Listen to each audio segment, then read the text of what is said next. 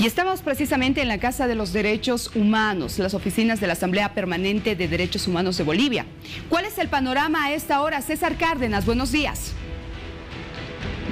Van a 43 días de vigilia por parte de Amparo Carvajal y, y también por algunos activistas que están apoyando a la señora Carvajal. Sin embargo, mantiene aquí los policías de resguardo en las puertas de la Asamblea Permanente de Derechos Humanos. Sin embargo, la señora Amparo Carvajal se encuentra también descansando en la parte alta de esta asamblea. Sin embargo, por este otro lado tenemos activistas que también están, la están acompañando.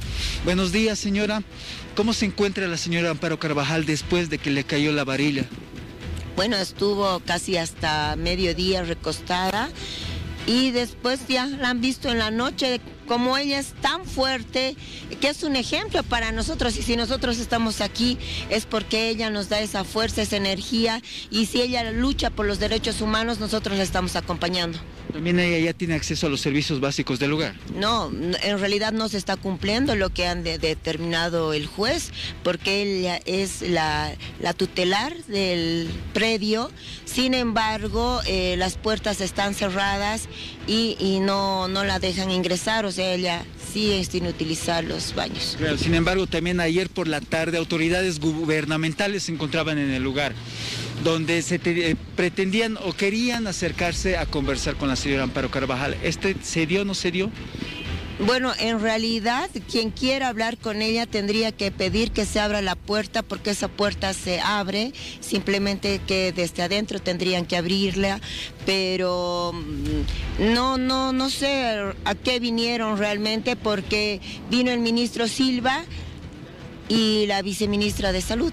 ¿Van a continuar las medidas de, presión, la vigilia este, durante este fin de semana? Yo creo que esto no es una medida de presión, es una vigilia pacífica que ya lleva 43 días y vamos a seguir pese a los, a los feriados, al clima o a lo que pase. Bueno, exactamente hay que resaltar que esta es una vigilia, eh, Bania va a continuar durante todo el fin de semana. Muy bien, César, gracias por la información. En esta terraza permanece la señora Amparo Carvajal. Creo que está dentro de esta especie de carpa, ¿no? Que se ha habilitado con plásticos por lo menos que son tanto más gruesos para que ella pueda protegerse del frío. Imagínense estar en una terraza y pasar toda la noche, la madrugada, es inhumano definitivamente. El resguardo policial que se puede ver y que permanece, de hecho lo mencionábamos hace un momento, el ministro de Gobierno Eduardo del Castillo ha señalado de que ellos lo único que van a hacer es resguardar la integridad de las personas, pero que no pueden ingresar a estos predios porque este es un conflicto privado. Lo dijo el ministro de Gobierno. Una ambulancia también que permanece en este punto para cualquier emergencia, ya que la señora Carvajal tiene 87 años, una persona de la tercera edad, y continúa en esta medida de presión. Continuamos.